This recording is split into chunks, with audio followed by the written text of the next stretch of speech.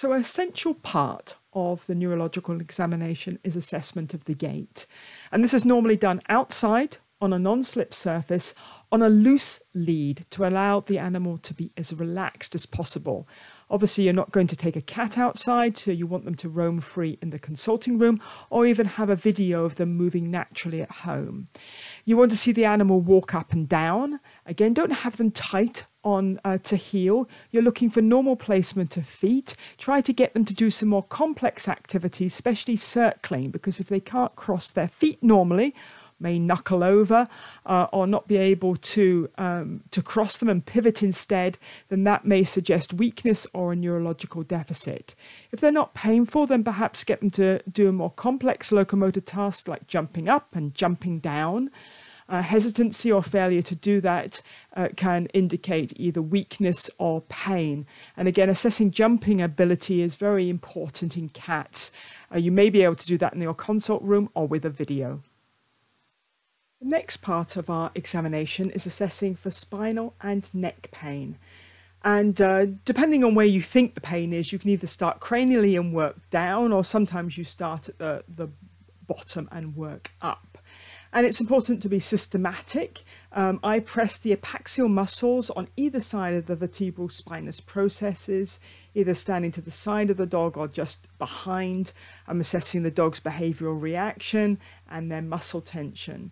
It's also important to manipulate the tail. Um, it can be particularly painful with lumbar sacral and uh, coccygeal intervertebral di disc um, disease and other painful tail disorders. Then gently flex and extend the neck.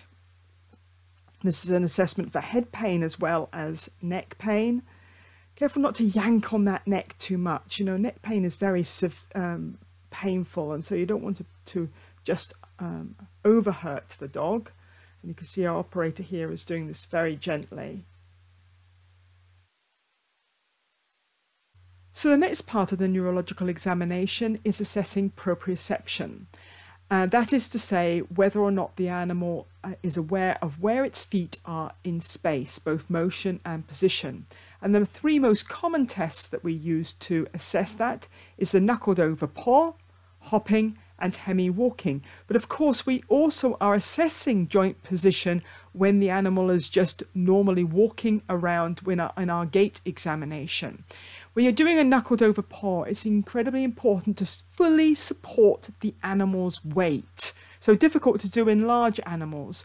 If you don't fully support your their weight, then the influence of them having to support themselves is also being assessed. And if the animal is very weak, then that's going to cause a delayed response. Likewise, using the paper pull test is very inaccurate because the um, the animal again if they're weak they will be delayed. When we do hopping we push the animal over um, while supported. And as soon as the joints are not aligned so the shoulder is not aligned with the carpus and the hip is not aligned with the hock then they should be able to hop. And failure to hop successfully can also be um, uh, a loss of muscular strength, but in that case, the supporting limb will, will collapse rather than them being a delay. I find hemi walking extremely useful in cats, um, uh, and it's a bit more difficult in dogs. So next we're going to look at the cranial nerves and I start with vision and work my way down. I do like to use a dropped cotton wool ball, although controversial, just because it allows me to compare each side and it's a good indication that the animal can see. Make sure it's something silent and uh, that is easily distinguished by a dog, which is you know white. Menace response is assessing a lot. It requires intact vision, the facial nerve, the brain pathways in the cerebellum, and so you need to interpret it based on other tests as well. Make sure that you use a finger rather than a flapping hand because the flapping hand will generate uh, air currents which will stimulate the palpebral reflex. The pupillary light reflex assesses the optic nerve, the retina and the oculomotor nerve and the chiasm in between. Make sure you use a bright light. If the animal is very scared and you're using a dim light then the animal's fear will drive pupillary dilatation despite that, um, that light and you won't see the reflex. And remember you don't need to see pinprick pupils especially especially if the animal is scared. You just need to see the reflex. The oculocephalic reflex assesses the ocular motor nerves, that's three, uh, four, and six, and also the brain stem. And you're seeing the eyes remain central as you turn the head from side to side and up and down. Then we're assessing the palpebral reflex, lightly touch the medial and lateral canthus. That's sensation with the trigeminal and motor with the facial. Look at facial sensation all over the rest of the, the face by stimulating the lips and the nostril um, and uh, the external ear. Uh, contraction of the face uh, as a result is the facial nerve and you may see a tongue lip as well. And of course we can also assess jaw tone by opening the mouth uh, and uh, tongue movement by opening in the mouth. And if we throw the dog a treat, we can see its ability to pick up food and uh, um, swallow.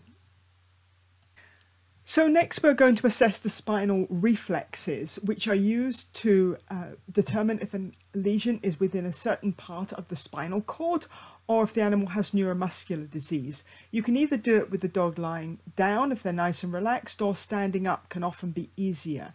We use the patellar reflex, tapping the patellar tendon to assess the femoral nerve, and then the withdrawal reflex, the gastrocnemius and the cranial tibialis to assess the sciatic nerve. When you're assessing the muscle tendon reflexes, it's uh, easiest to put your digit, a thumb or a finger on the middle of the belly of the muscle and then tap that. When you do a withdrawal reflex, make sure that the animal flexes all of the joints and the reflex is flexion of all of the joints. Deep pain perception is when you're looking for a behavioural response from the animal and is something different. When you're doing it standing up, I use my knee shoved bet uh, between the animal's leg to help support the weight. Doing the forelimb reflexes can sometimes be more uh, tricky. Sometimes you don't get much of a, um, a, a, a reflex.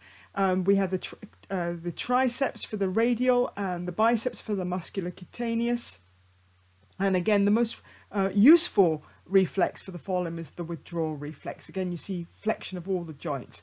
The cutaneous truncaopaniculus reflex um, assesses um, the, the uh, lateral cutaneous nerve coming out at T2 and finally we have the perineal reflex which is assessing S1, S2.